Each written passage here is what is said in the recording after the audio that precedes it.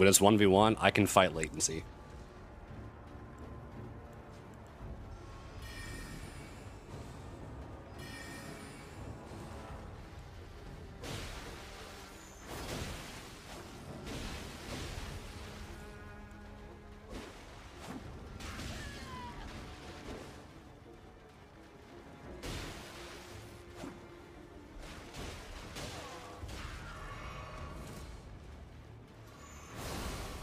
though. This bad, I don't know if I'm going to beat it.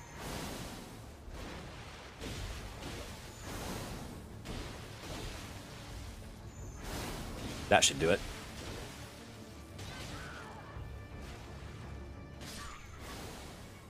Called it.